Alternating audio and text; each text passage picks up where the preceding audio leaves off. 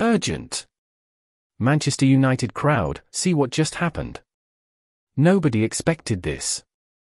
But first, subscribe to the channel, because here we have videos every day with the latest news from Manchester United. To not miss any news from the Red Devils, don't forget to turn on notifications. Now let's go to the news. Manchester United need more from their £130 million midfielders after Tottenham defeat.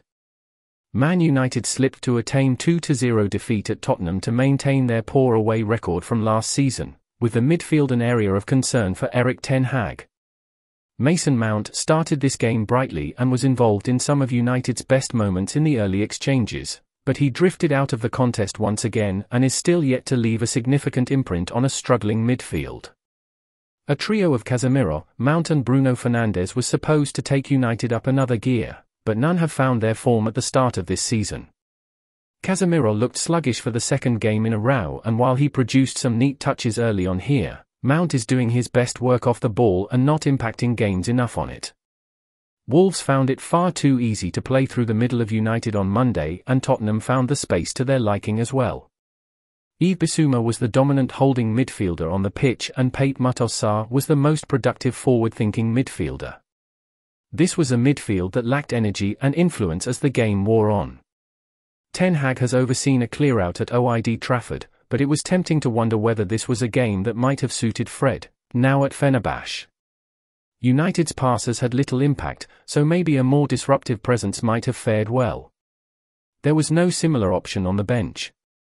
This is still early days for United's midfield and there is certainly more to come from Mount, but he needs a performance sooner rather than later and Erik Ten Hag will want to see some more dominant displays from Casemiro as well who is a shadow of the influential player he was last season at the moment. The wait for a significant away win in the Ten Hag era goes on for United. Having failed to beat any of the top nine last season, they continued a poor record on the road in big games in North London. This was a game United should have won at the end of April, when they led a dispirited rabble of a Spurs side 2-0 before somehow having to cling on for a draw by the end of the game. They looked the better side in the first half on Saturday, but the way they folded after the break was alarming. They barely mustered a response after going behind. If United are to improve on last season's third place, then getting more points away from home is essential. This could have served as a confidence boosting win. Instead, it just reinforced last season's flaws.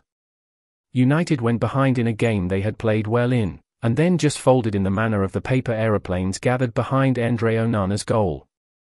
This was a fascinating battle between a team keen to play out from the back and one who has taken their desire to press to a new level this season. The improvement in United's press in Ten Hag's second campaign has been obvious since the start of pre-season, and they often committed at least six players to try and win the ball back when Spurs went short from Guglielmo Vicario at the Tottenham Hotspur Stadium.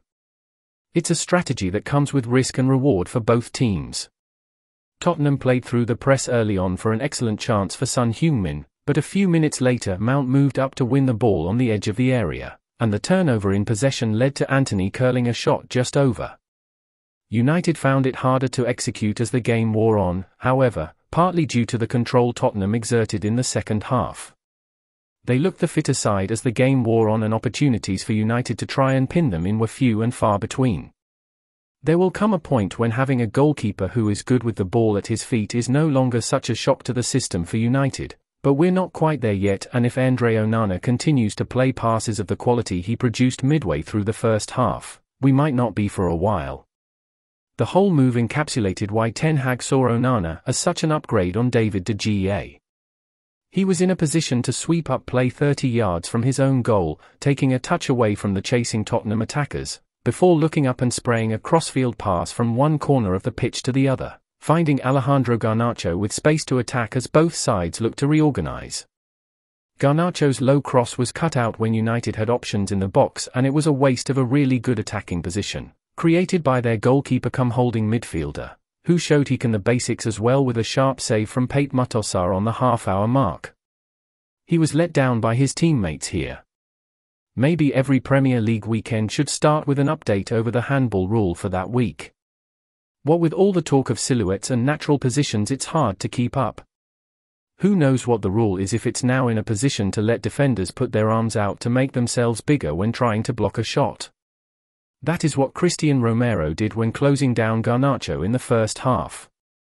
Predictably, the shot hit his arm, but somehow neither Michael Oliver nor VAR Simon Long felt it was a penalty. He would have been given without a pause for thought last season, and if a rule change has been intended to try and even the balance, it has clearly gone too far. This was Romero gaining an advantage by using his arms to make himself bigger. It's a nailed on penalty. United got away with a VAR failure last week. There is an idea these things even themselves out, but trying telling that to Wolves. They should have conceded a penalty at Old Trafford on Monday and had one here. Manchester United takeover latest as Sheikh Jassim grows concerned over sale. Manchester United fans are in the dark regarding the future of their football club as the Glazers fail to provide updates. Manchester United supporters have been hit with further bad takeover news.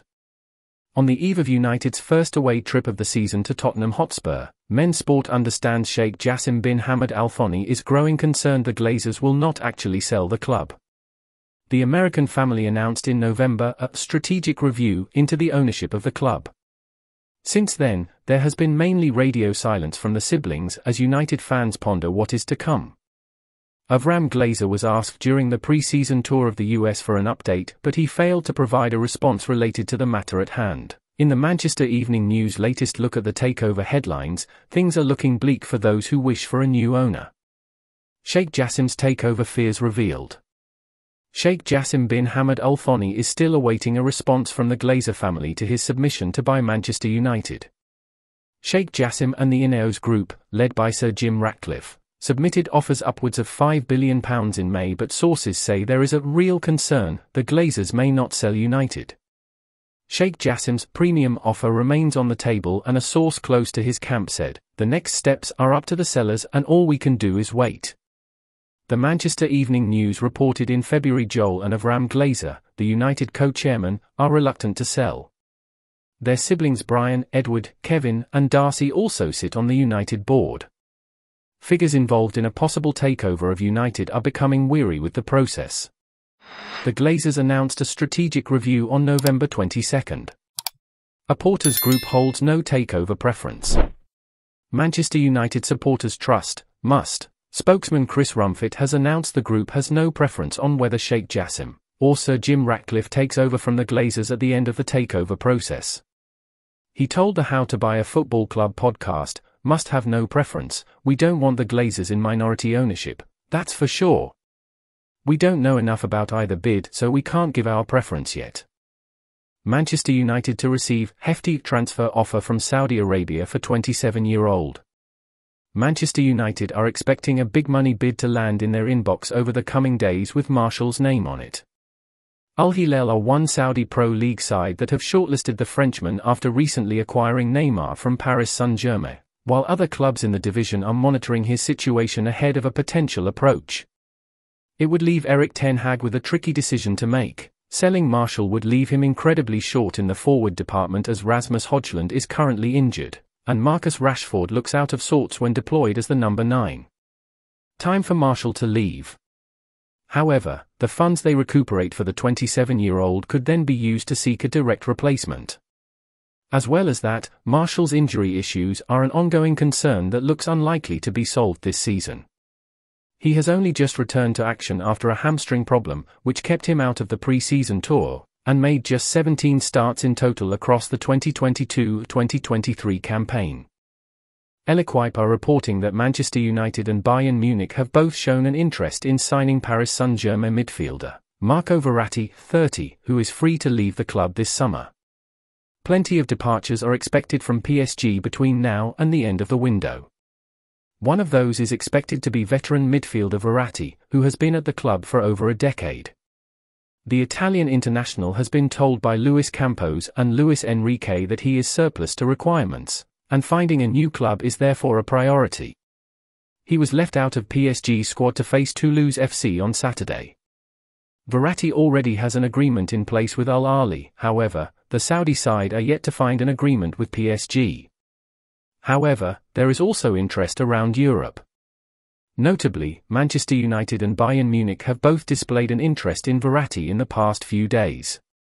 L'Equipe add that a move to Manchester United cannot be ruled out.